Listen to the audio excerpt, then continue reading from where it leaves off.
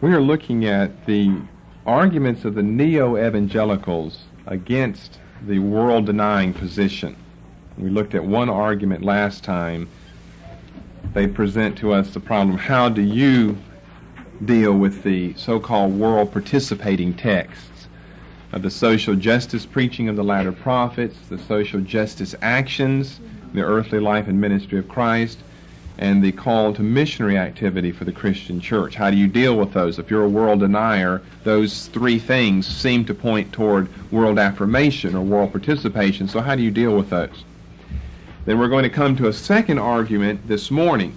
Another argument by the neo evangelicals against any groups that are, well, remains of fundamentalism, because the fundamentalists have always been separatists, remember. They've always been world deniers. Before we do that, we've gone over so many books before. I brought a few more. We're going to do it real quickly. Uh, but I had told you earlier that I would show you what the fundamentals look like. I'd given you a history earlier of this set. It came out two wealthy California Christian layman businessmen got together this and sent out millions of copies of this. They were originally in 12 volumes to pastors all over the United States and over into Europe as well trying to combat especially liberalism and the social gospel movement and things on that order. I have it in a four volume set. You see it's entitled The Fundamentals. And I'll leave them around if you want to look through them. They make very good reading because although they were written by scholars, basically, two pastors, they're on a real elementary level. But they have lots of divisions. Oh, I'm already in the last one. Um, here's a division called Modern Thought um, the decadence of Darwinism, the passing of evolution, evolutionism in the pulpit. Uh, they've got a section entitled Isms, um, Mormonism, Christian Science, they call it Eddyism, Spiritualism,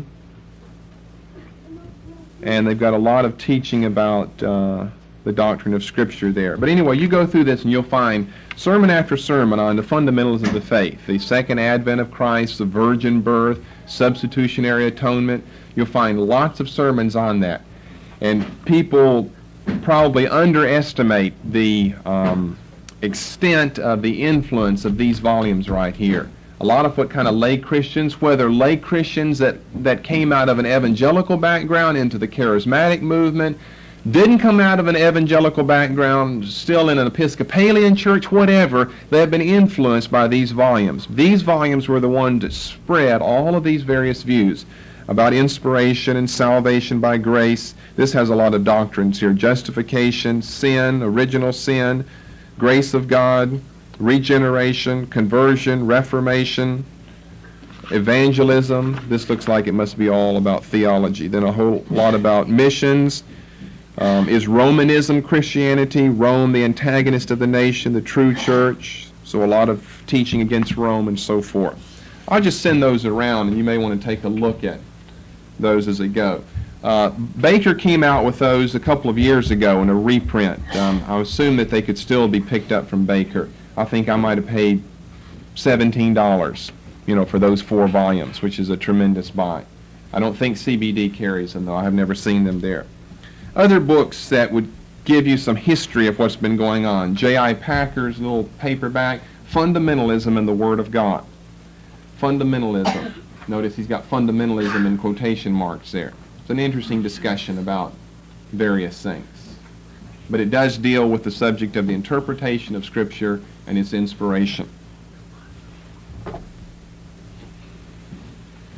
New book I just finished reading, it just came out, but because it's a biography, it gives you a lot of history. See, remember, Confessions of a Theologian by Henry is an autobiographical account. It'll give you a lot of his inside information on the history of the movement.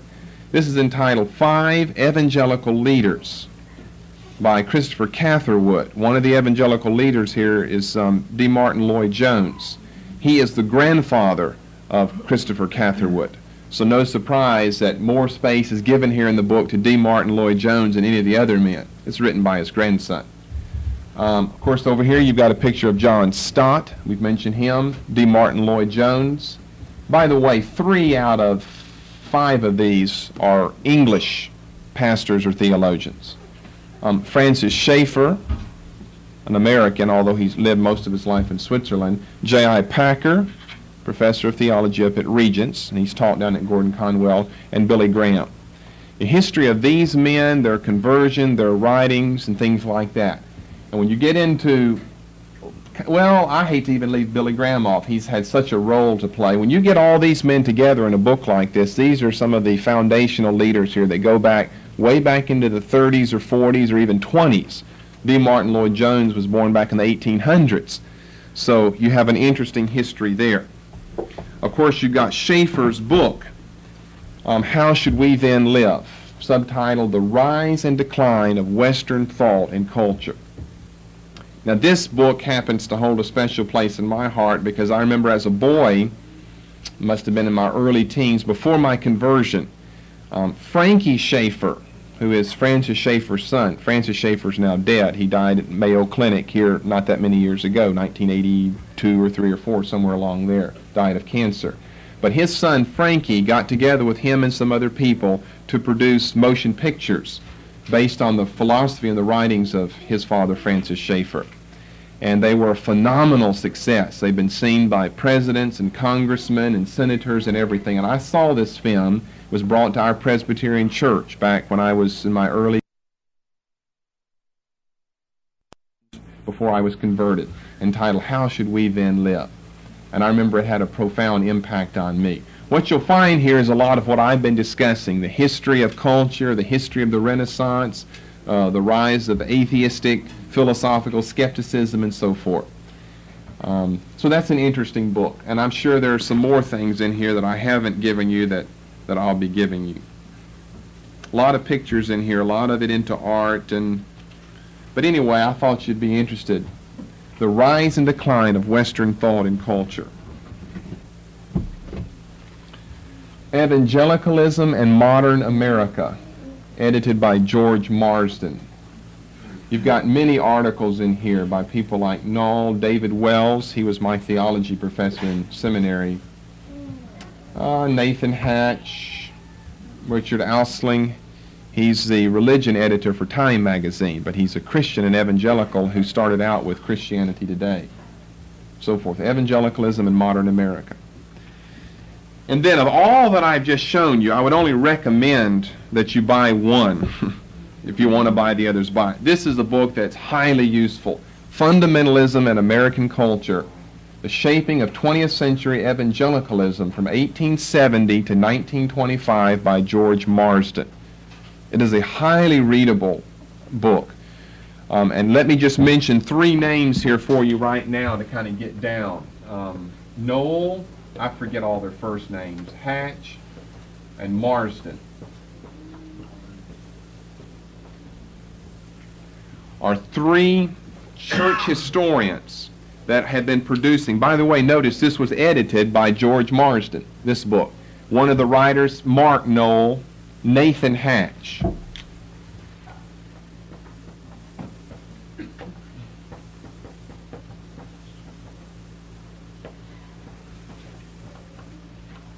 three church historians who are producing a lot of material. In the last few years, they have put out a lot of material that is um, chronicling the, the early rise of fundamentalism, the evangelical movement, and all types of things like that.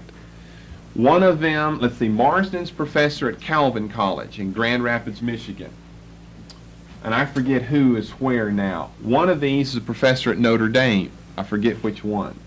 So I hate to even take a guess. The other one's a professor at Trinity Evangelical School in Deerfield, Illinois. But one of them is from Notre Dame, but he does come from an evangelical background, and he writes with the perspective of an evangelical. I read this book not that long ago. I think it's a fairly new book. Just been out a couple of years. Yeah. Uh, and it's just absolutely fascinating. Notice the time period from 1870 to 1925. It'll do. It'll set the background for something like that four-volume set on the fundamentals there. Fascinating book. That's almost kind of like a must-reading, knowing what took place in American Christianity around the turn of this century and what were the roots of what took place. And those are the things that produce the situation that we have in the world today. It's very readable, I think. It's an easy book to read, but it, it's a paperback packed full of information. Packed full of information. Okay, enough on those books then. I'll send that one around, I guess, if you want to take a look at that. Now, let's then come to the second argument. That was just to bring you up to date with a few more books. Second argument, we've looked at one, the how do you deal with the world participating text.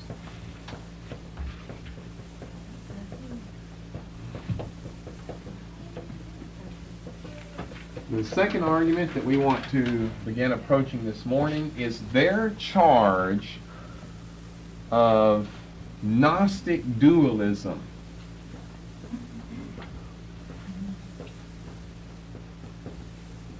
To our interpretive account. In other words, they're charging us with being Gnostic dualists. Sounds like a heavy charge to me. I don't know if I want to be a Gnostic dualist or not. Now, do you remember anything about the old, early church history era of Gnosticism? What do you remember about Gnosticism? All right, secret knowledge. That's the first thing that it's known for. All right, that is not what they're saying. So that's good. We want to point out the first thing it's known for is the Gnostics claim to secret knowledge, an esoteric view that only the initiates to the religion could have and no one else could have. That's not what they're charging us with. What's another tenet of Gnosticism? Remember the big contrast they want to make between flesh and spirit. Spirit is good, flesh is evil. And that's where we get this term dualism here. Sometimes Gnosticism, the old heresy, is simply referred to as dualism. There have been dualists in church history from the beginning right down through the ages. People called dualists who believe that all flesh, in other words, all matter is evil and all spirit is good. So I'm not talking about the basic knowledge part of this error, but the spirit, flesh, spirit, matter, good, evil contrast, also called dualism, that's inherent in Gnosticism. Now, do you see what type of charge they're making then? They're making this charge of us. What are we? We're world deniers. What do they say? What do they equate that to? All right, you're like the ancient Gnostic dualist, that you're saying anything out there that's matter, anything in the world, anything that's flesh, anything you can see is evil. And the only thing that you think is good is spirit. And so that, you need to understand that. That's what we're going to be talking about for the next hour here. That is the charge that they make of us. That if we're saying that the world is evil and only spiritual matters matter, only spiritual matters are good, then are we not Gnostics? making an unwarranted distinction between flesh and spirit.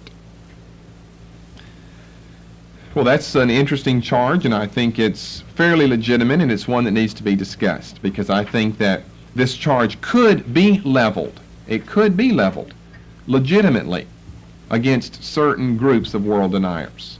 It all depends on what the philosophy behind world denying is of any particular group. But I think that this is an appropriate charge, and I think that it's one that needs to be answered. And I think because of the philosophy we have behind world denying, it's one that we can answer. Well, I would say, in the first place, true. Um, there are certain extremes among world deniers that we need to avoid. Extremes such as mysticism, the mystics were the people who looked to the world above. And Adventism, these were the people, the Adventists were the people who looked to the world beyond. I think these are two extremes of world denying that need to be avoid, avoided. We must neither be mystics nor Adventists. Now you see, the mystic, he looks around him and equate, he equates all that he sees with matter, and matter, due to Gnostic dualism, is evil. And therefore, what does he do? The mystic just tries to set himself apart, somehow leave the world, and somehow spend all of his time simply meditating, contemplating, of reasoning, thinking, praying, things on that order. In other words, you would never accuse a mystic of being a world affirmer. You would never make the mistake of accusing him of being too involved with the world. If anything, he's not involved enough. And so what they're doing, the neo-evangelicals, they're making a charge of Gnostic dualism that we fit in one or the other or a combination of these two or maybe a third group plus a combination of these two. That's, that's not scriptural. We're too mystical. We look around and say everything's wrong. We ought to just spend their time thinking, contemplating, meditating. So the mystics look to the world above. They want to turn off channel W, which equals the world. They want to turn off channel W by turning to the allegory of the Song of Solomon. Song of Solomon happens to be a book that would fit them, the mystics, very well because they would interpret it allegorically, and you've got this love relationship between the mystic and Jesus. The mystics, people like um, Bernard of Clairvaux and uh, Meister Eckhart and the mystics that we've had down through the centuries, uh, they would say that what life is, life is loving Jesus. You can't do that you're contaminated with the world. What they strove after was such things, you'll see this in church writings, is the beatific vision. You ever heard of that term before? The beatific vision. Or a step higher, the Visio Dei. Surely former Catholics have heard of these terms. The beatific vision and the Visio Dei. Those are big terms from mysticism. Well, you see, the mystics are just concerned about meditating, contemplating, thinking about matters. This means just what it says, the beautiful vision. Beatific vision is the beautiful vision of loving Jesus. And through contemplation, separation from the world, escapism from the world, through contemplation, you can come through the inner man to an experience of having a beautiful spiritual vision. And then if you contemplate well enough and you go beyond that, you can actually have visio Dei, which is the vision of God. Now that's not a vision like we think of vision. It's the it's the incoming and, and the, the rapturing of the soul of the mystic into the eternal divine beauty of God. Uh, thus life is loving Jesus. It's almost easy to say that these people were, were something of the forerunners of uh, Kierkegaard's existentialism because so much is based on just the inner man and you never can really nail down exactly what it is they're talking about here. The Visio Dei. They don't really mean that you ever see a vision of God like John saw in Revelation 1. It's just that your soul becomes united with the deity above, thus providing a vision into heavenly matters for you. And you do that through mysticism. Another extreme to avoid, Adventism. The mystics look to the world above, the Adventists look to the world ahead. They too wish to turn off channel W, the world. But rather than turning to the allegory of the Song of Solomon, of course, they would turn to the apocalypse of the Apostle John, the Adventists. These, of course, are the people who are so intent on the return of Christ, hence Adventists, the second advent that they have chosen to totally repudiate, reject, and escape from this world. And they do it, they escape through their interpretation of the apocalypse of John. Both of these groups then follow the pattern of reject, separate, and escape. I would say they both follow this pattern of reject. You reject the world, you separate from the world, you escape the world. You escape either through mysticism or Adventism. Now, I think that every Christian, my, my, even my church history professor will argue in favor of this as well. Every Christian should have a mystical aspect to them because life is more than just nuts and bolts of um, mental equations or whatever. There certainly is a Christian aspect in mysticism of, of relating in the internal man to God. It's more than just doing the do's and not doing the don'ts. Every Christian should have an aspect of Adventism to him, where in one sense he's so much looking forward to the return of Christ that uh, his hope and his affection, his goals are not set upon his existence here in this life. But this business of these three steps in this order of reject, separate, and escape, these are the things that cause the neo-evangelicals problems.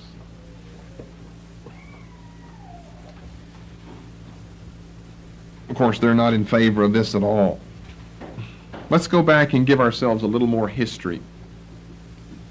In July of 1974, we've already looked at a lot of earlier history of the founding of NAE, CT, ETS, Fuller Seminary, and so forth from 1942 to 1956. We didn't give you really very many things, probably nothing, more in modern times. In July of 1974, um, a World Congress was held on the subject of evangelization. It was entitled the International Congress on World Evangelization at uh, Lausanne, Switzerland. Lake Geneva in Switzerland. You ever heard of the Lausanne Conference? I'm sure you have. It was another thing that did a lot to to shape or to modify current evangelical church history. 1974 was the year I was being saved, as a matter of fact. So it was a very important year. if for nothing else, I was saved. I don't care much about what happened over in Switzerland. 2,700 participants from 150 nations joined together under this slogan let the earth hear his voice. Now you know that you can't even have a congress or a conference if you don't have a slogan to go with it. You know, like Albany last year, what was it? One that the world may be one. O N E W O N. Well, you've got to have that. Let the earth hear his voice. They had, first of all, three introductory sessions. I'll give you a little history of Lausanne. Lausanne really changed matters. Three introductory sessions. The first session was on the purpose of God, where papers were delivered, talks, speeches were given. Second session was on the authority of Scripture. Third session was on the uniqueness of Christ. All of that's fine with us. It'd be fine with fundamentalists so far. Then they had two important sessions that concluded matters. The fourth one was the nature of evangelism. And remember, this was called the International Congress on World Evangelization. The nature of evangelism. But then why we're pointing this out is the fifth and the final rallying message, the one that was delivered before you know, the plenary session here and it was entitled Christian Social Responsibility. Christian Social Responsibility. And of course, a formal covenants and contracts were drawn up after this, stating the position of the delegates represented at Lausanne, Switzerland. And just to give you a small quote from this fifth session, the plenary one on Christian social responsibility, um, it, it declares that, quote, evangelism and socio-political involvement are both part of our Christian duty. Evangelism and socio-political involvement are both part of our Christian duty.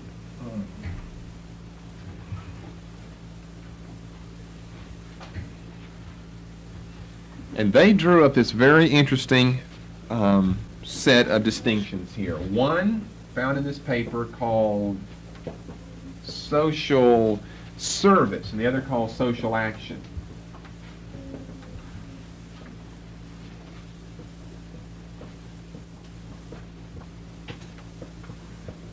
And they gave um, comparisons and contrasts between what Christians had normally, after reading the Bible, how they would normally interpret it under certain social services and how Lausanne was going to go a step further and take the so- social service over into the arena of social action. Now, I'm sure you don't understand what I'm saying, but you will when I give you examples. For instance, they said that the old position under social service was um, relieving human need.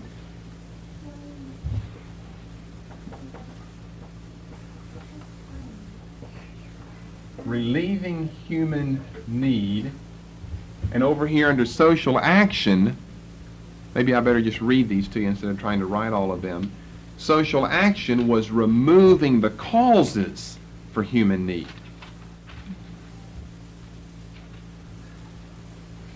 So you can you can draw a line here between these two as they're doing right here, and you can end up with two different groups of people. Those who believe in social service, which is where our group fits. We believe in relieving human need, wherever human need can be found of relieving it. We don't believe in this next step, which is the, the parallel for the social actionist, removing the causes for human need. That's because we've got a lot of different views about a lot of different matters. One, we've got a different view of the inborn sinfulness of man. We've got a different view of politics and religion. We've got a different view of the millennium. We don't believe that it's possible to remove the causes for human need. And certainly it's not possible to remove, listen to that, the causes of human need by marching on City Hall. Human needs, the, the human needs of mankind are spiritual, not financial not not uh, educational, not social, they're spiritual. The second thing listed under social service, philanthropic activity.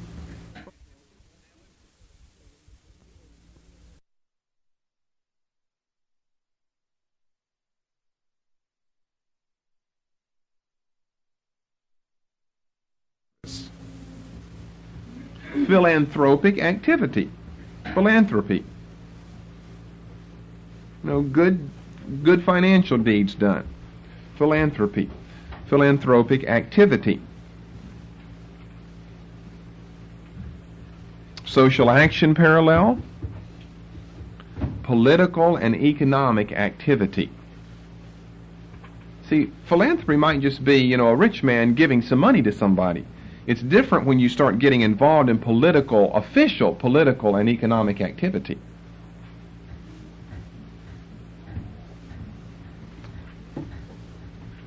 Maybe this third will even explain it a little better. Social service, the third one there, seeking to minister to individuals and families. Now that has been the position of the church down through the years. Is Christians on an individual basis would seek to minister to other individuals or families as they have need. Over into social action, seeking to transform the structures of society. Almost sounds like Marxism in here. Seeking to transform. This is what the neo evangelicals believe. Seeking to transform the structures of society. Don't you hear all the time, haven't you heard in the past, radio programs, television programs? Everyone's wanting to get us involved in political activity as Christians. They're always talking about us being the silent majority the silent majority, that there's a majority of born again Christians, there's a majority of evangelicals here, but we're silent. We have not taken our, our political call seriously enough. And of course, the, the people like ourselves don't believe we have such a political call. That's why we are silent. So silent is fine. Um, majority, I would disagree with. I don't think there's a majority of evangelicals out there, people who are truly born again, who are going to have the impact they're saying but you're hearing all the time more in the last, you know, in recent years than you've ever heard before. Of get involved in politics, sign petitions, get your church involved, and always beating you on the head by saying, We're the ones who have the truth, we're Christians, we shouldn't be pushed back into a corner by the world. Jesus sent us out here as missionaries to change the world. And so we got to do something to change it. And, but they're using different methods and different means than the early church used to change it. Of course, they've lost all hope in any supernatural or miraculous in the practical area. Doctrinally, they're fine there, but they've lost all experience in that area. So how can you change the world? But through politics, through educational, economic, social reform. It's always reform, reformation, not regeneration. seeking to transform the structures of society. And of course, it's no surprise that here in the same time context, you've got Vatican II, 1962 to 65. You've got liberation theology that came as a result. That's a Roman Catholic phenomenon that came as a result of Vatican II. And all of that kind of has um, overtones, to me anyway, of Marxism to it. And here we've got evangelicals at Lausanne with the same overtones of Marxism, seeking to transform the structures of society. I'll give you some more about that later, but one thing that can't even be argued, and, and the, these people won't argue this, can't be argued that the early church didn't try to transform the structures of society. Jesus said, if Caesar, if he made the money, then pay your taxes to Caesar. Render unto Caesar what is Caesar's and unto God what is God's. Don't try to change Caesar's into God's. You're confusing the whole issue then. Render to Caesar to Caesar, to God to God. Let there be the division that should exist. The church of our day is saying, no, let's transform Caesar's palace into the church or the synagogue of Christ. Of course, it will never work. But if you're post mill, though, according to your theology, it will work because the world's going to get better and better and better. You'll always hear me mention that. Different components make up what your worldview is. The way you, the, the lenses, the glasses through which you view the world and your existence in it. And one very important one that we'll discuss later is one's millennial theology. Millennial theology is not just one of these side issues. Well, you're post mill, a mill, pre mill. Doesn't make any difference. Christ is coming, or he did come, or has come, or he is here. Something's going to happen, but it doesn't really make any difference. Oh, but it does. It makes all the difference in the world. When he's coming, when the millennium fits in relation to when he's coming, and what you believe about that whole matter. As I hope I can demonstrate later. Pre mill is just not an option. Pre mill is not just an eschatological theology. Premillennialism is going to affect your entire theology from start to finish. The way you view the Old Testament, for sure, because we're talking about the relationship between Israel and the church. The way you view social involvement and social action. If you have any hope or suspicion in your mind, and a lot of people do, that if we silent Christians, we majority out here, can simply get our foot in the door, be elected to public offices, we can change the world. We can better the world. If you have any hope in that, you're going to attempt that. If I had any hope in it, I guess I'd try it. But my theology dictates to me otherwise, you see. My theology says it doesn't matter what I do, I cannot improve the world through political or economic or educational methods. That simply is not possible. But you see, why do I believe that? It's because I have a certain theology that I feel is based on the Scripture. They have another theology that they feel is based on the Scripture. And that dictates why they do the things they do and live the way that they do. And then the fourth thing, social service. Works of mercy. Works of mercy. Christians should be involved in works of mercy, social service. You have a neighbor who you know they, they don't have money to pay their electric bill. Well, you got to help them somehow if it's January. As a Christian, you can't just stand oblivious to the need that they have. There are other things to take into consideration. We discussed that some other. And by the way, here's a good place to say, remember, I said when we started this study that it's almost impossible to know where to draw the line between talking about worldliness and social action and involvement. Although I'm doing the best to mar the line between the two, I'm not intending really to do that. We're going to keep them separate and talk, talk about social action and social involvement later. Because it's not just a blanket across the board thing. If you find a person who has a need, help them. Because the Bible has a lot to say about laziness and sluggishness. The Bible does not expect us to help someone when they have the wherewithal. They could go out and get a job if they want a job. And because they're lazy, because they're slothful, they simply choose not to. Slothfulness along with what? Pride and dishonesty. If I remember my dis get an E in there where it's supposed to go, and slothfulness. You know, you've heard of the seven great sins of Book of Proverbs. You know, well, these are Barth's three great sins. Karl Barth said the three chief sins of mankind. He's probably pretty close to it here. Are pride, dishonesty, and slothfulness. I think he's probably right. Three chief sins of mankind: pride, dishonesty, and slothfulness. But that's not Bible. That's Barth. Um, works of mercy. So, if a person's slothful, then I don't feel I've got any responsibility to help them out except to point out their slothfulness to them. There are people who have genuine needs, in other words, and there are people who really don't have a genuine need. They ha- they created their own need. That's their own fault. That's their own mistake. They'll have to deal with that themselves. But that's getting off the subject this morning. The parallel and social action column, the quest for justice. The quest for justice.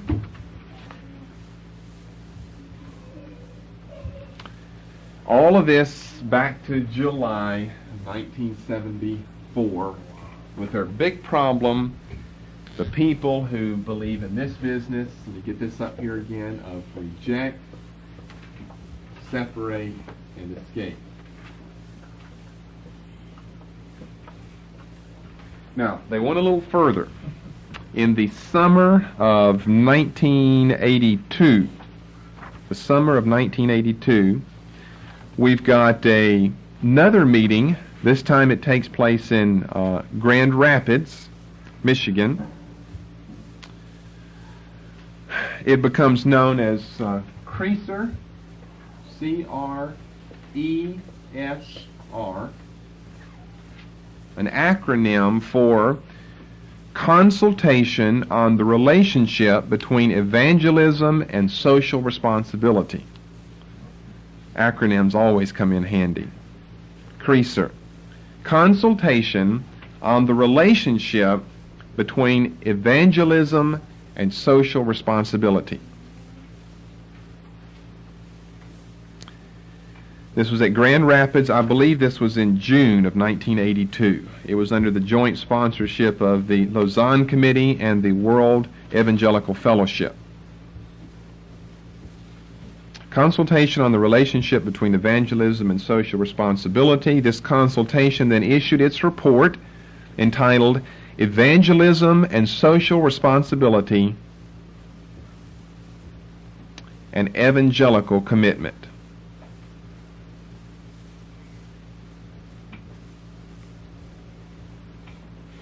And it is in what is now become known as the Grand Rapids Report that you actually find the very minute distinctions between social service and social action, the things that I've just given to you.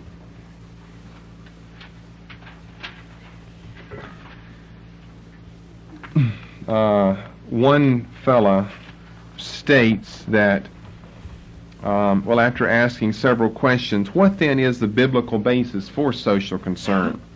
Why should Christians get involved? In the end, there are only two possible attitudes that Christians can adopt towards the world. One is escape, and the other is engagement. So said John Stott. One is escape, one is engagement. Well, we would um, vehemently beg to differ with that.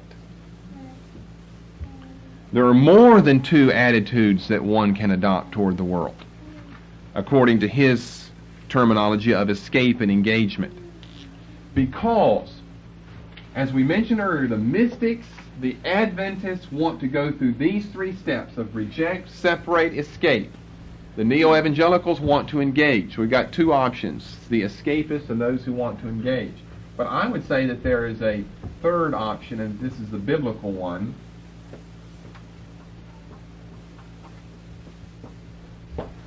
Reject, separate.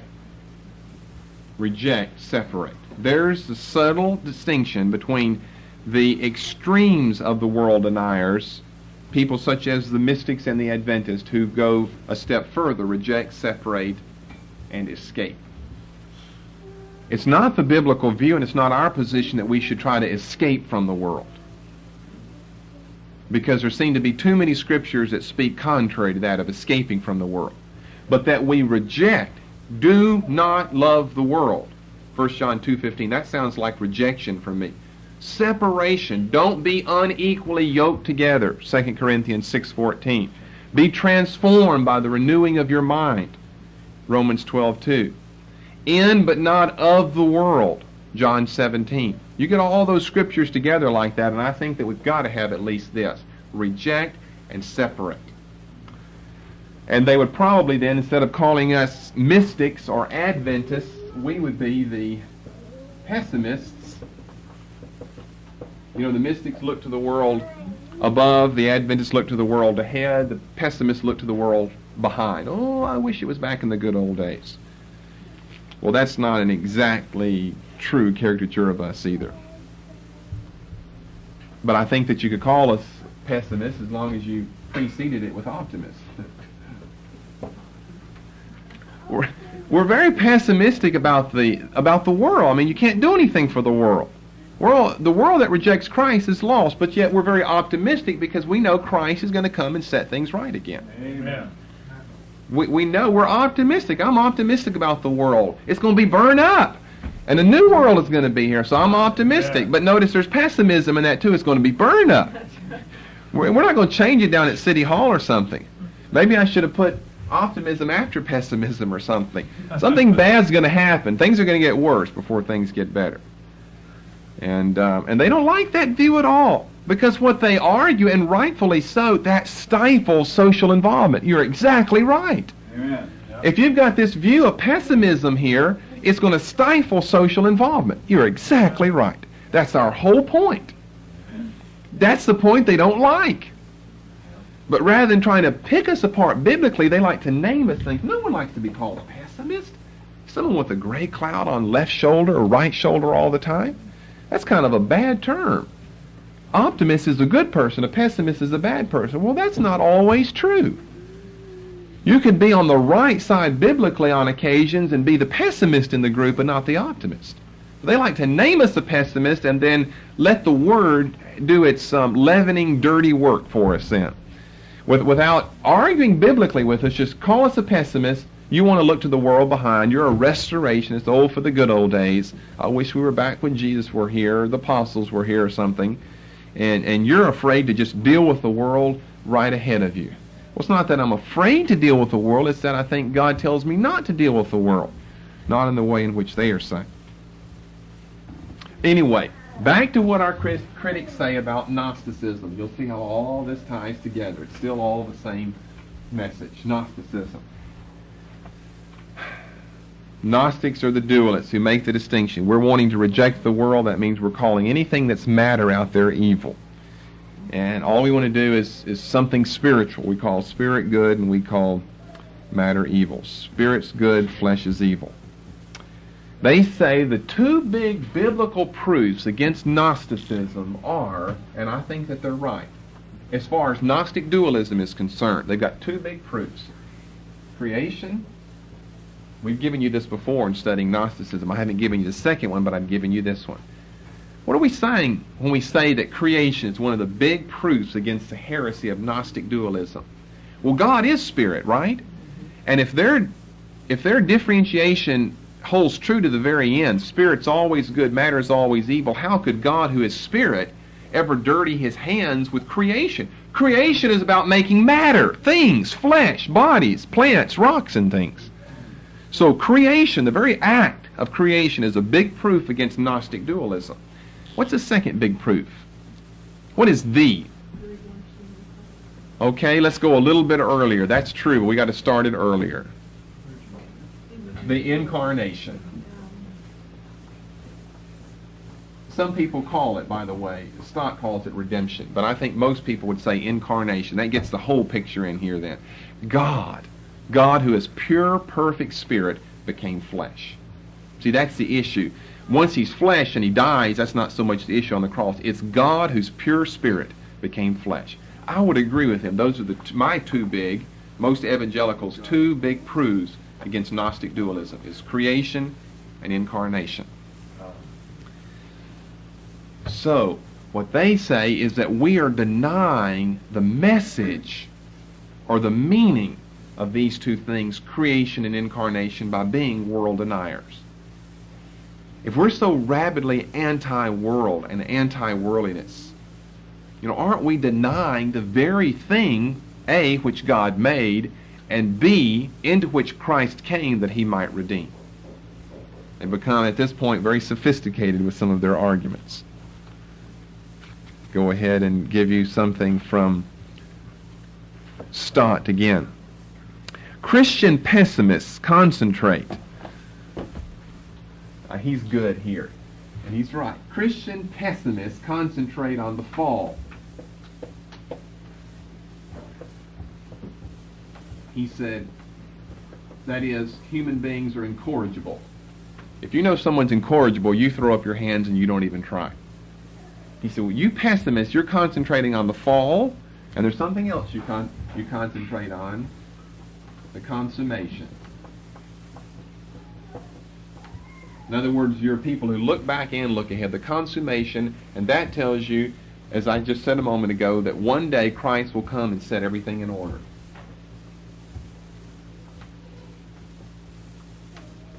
He said, you, you pessimists, Christian pessimists, concentrate on the fall. Human beings are incorrigible. And on the consummation, Christ is coming to put things right. And they imagine that these truths justify social despair. But they overlook, he argues, the creation and, as Sister Anderson used, redemption. I would use incarnation, though. But I know what he means by that. He means incarnation. They overlook creation and redemption. You, you understand the, the thought pattern here, what he's getting at. If we're such rabidly anti-worldly type people, then we're denying the very thing that God made and the thing into which Christ came, lowered himself into it to redeem it. And now we're saying, forsake the world, reject the world, separate from the world. Christ didn't do that. He came into the world to save the world. And they love that argument of creation and the incarnation. Let me read some more from Stott. The divine image in mankind has not been obliterated. Human beings, though evil, can still do good, as Jesus plainly taught in Matthew 7 11. If ye then, being evil, know how to give good things to your children, that's a good, that's a classic text in theology, Matthew 7 11, to teach that the image of God has not been obliterated in the fall. Because he very specifically said, if you then, being evil, know how to do good. The evidence of our eyes confirms it. There are non-Christian people who have good marriages, non-Christian parents who bring their children up well, non-Christian industrialists who run factories on a just basis, and non-Christian doctors who still take the Hippocratic standards as their guide and are conscientious in the care of their patients. So what are you arguing for? What are you arguing in favor of? A non-Christian world then? I mean, to emphasize that so much you're not emphasizing the distinctiveness of Christianity then. By saying, hey, there are a lot of lost people out there in the world who are equally good, who can do good things. Jesus said they could, Matthew 7 11. Therefore, what we're almost back to here is this one great universalism that we all somehow are in God's kingdom. And that kind of blends in with postmillennial theology. Although most although some of these guys are not post-mill. It blends in well. This is partly because the truth of God's law is written on all human hearts. Well, that's true. And partly because the values of God's kingdom, when embodied in the Christian community, are often recognized and to some extent in, imitated by people outside it. In this way, the gospel has borne fruit in Western society over many generations. Man, I wouldn't call that bearing fruit in the church. All we have there is the unconscious adopting by much of the Western world of the religion of Christianity. Yeah. That because we Christians have what we have, he said that um, uh, many people have imitated this, and in this way the gospel has borne fruit in Western society. I don't call that bearing fruit. I call that deadly inoculation that we've talked about before that Western society has been inoculated. You know what that is? You get just a dose of something that prevents you from ever further getting the real thing. Western culture, civilization has been inoculated by Christianity, and they are now immune to it. Amen. We're producing results of making, you know, maybe an, an industrialist who he doesn't believe in God or Jesus or anything, but he has been, his mores, his religion, they have been affected by Christian culture around him. Well, I wouldn't deny that. But I'm saying that's worthless in the final analysis, though. How we're affecting how we're affecting culture in that sense. There is all the difference in the world between the unconscious acceptance of Judeo-Christian principles, which is what most of Western society has done. The unconscious acceptance of Judeo Christian principles. We gave you some of those earlier. Theistic view of God, who's intelligent and intelligible. The dignity of man, of human life. Inborn sinfulness, the traditional monogamous family, common decency, the work ethic. Those have imbued Western culture and society. But it has done so unconsciously, though. And so it's not enough for us to argue, praise God, at least we're all being unconsciously affected by the shadow of the cross. That's not enough. There's, a, there's all the difference in the world between the unconscious acceptance of those things because they're simply inherited and the personally thought out embracing of them. That is what makes a true believer. That is the thing that will affect anybody if anything will affect someone else. So that's what we're after here. The personally conscious thought out embracing of the fundamental mores of Western thought and culture. See, Western culture is traditionally monogamous. That has been the position for years and years and years. It has somewhat changed recently, but still, many people who have never darkened the door of a church philosophically are monogamous. They belong to that position. They think that is the right way. Where, where did they get that? Well, he's arguing, and he's right here. Part of it's due to the law of God on man's heart. Part of it's due to unconscious Christian influence. And so what they're after is that, see, since we have influenced them, let's go out and get involved even more and we can influence them more. But all we're doing are, is inoculating Western society, though. We're not converting anyone. If anything, we're weakening down we, we are losing the hope of ever making a conversion. And, and we know that is true. We have gone out and witnessed to people. Well, I've got that. I believe that. I mean, that's the whole shock about the matter. They already know about that. They already believe that. There's nothing wrong in their life. You try to tell someone you're a sinner. You are a sinner in the sight of God. They say, well, I'm not any worse than you are. You sin in your life too. They can't even comprehend doctrines of grace or predestination or salvation. But they have been inoculated by just the thought and the spirit of Christianity so that we're kind of all in this great universal church together. Amen. That's why there is no way I'm going to fall for this neo-evangelical argument here. You're bringing us right into Marxism, into universalism, and you don't even know what you're doing. This message will be continued.